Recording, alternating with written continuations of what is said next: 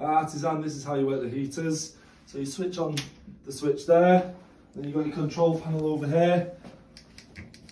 The arrow at the top is to increase temperature and to decrease it is that one there.